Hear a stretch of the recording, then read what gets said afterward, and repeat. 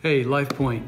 I want you to know if you're getting this, it means that we know that you're a member. So if you are wondering, maybe this will clear up some of the confusion. But really, what I wanted to do is I wanted to take a moment and recap our tribe night last night. A lot of initiatives were shared. We talked about our Guatemala initiative and what some of the pending things may be, and we're excited to see where God is leading us there. And we look forward to being able to bring back a report to you in December about our next steps.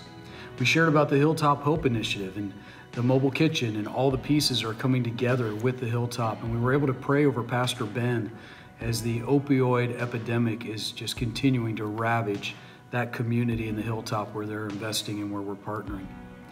We also shared about rebranding. And we, we shared with you the name, the Refinery Church, and, and how we asked you to vote on adopting that as a, as a name. And we're in that process of moving forward with trademarking and the Secretary of State and all those pieces of the puzzle.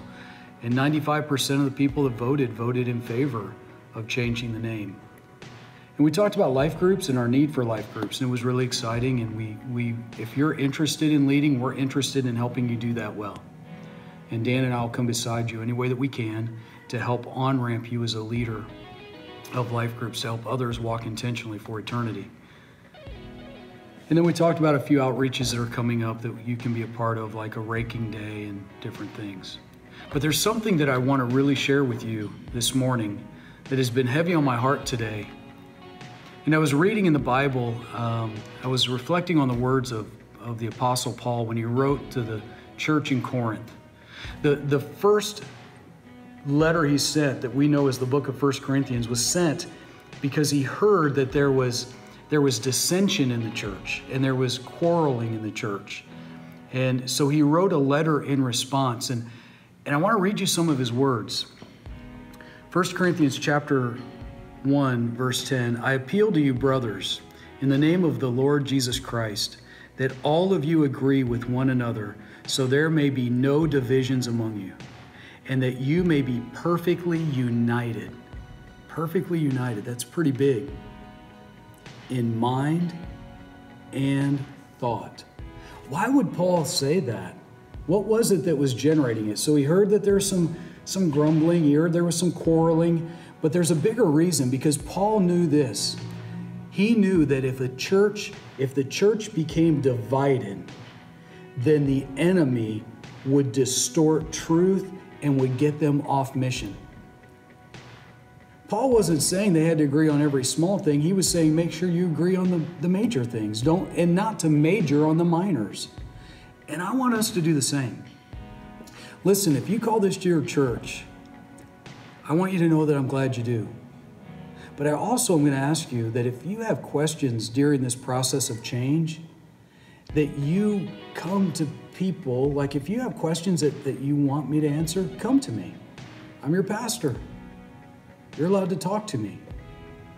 But don't let the enemy get a foothold in our church because whenever change comes, insecurities percolate to the top and negativity can be generated.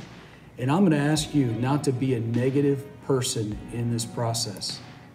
That's essentially what Paul was asking the church in Corinth to do. Because when you give in to negativity, it's not long before the church is compromised in mission. So we value agenda harmony. I'm not asking you to agree with everything that I, I like. I don't know if you like the color orange. We don't have to necessarily agree on that. That's not a major deal.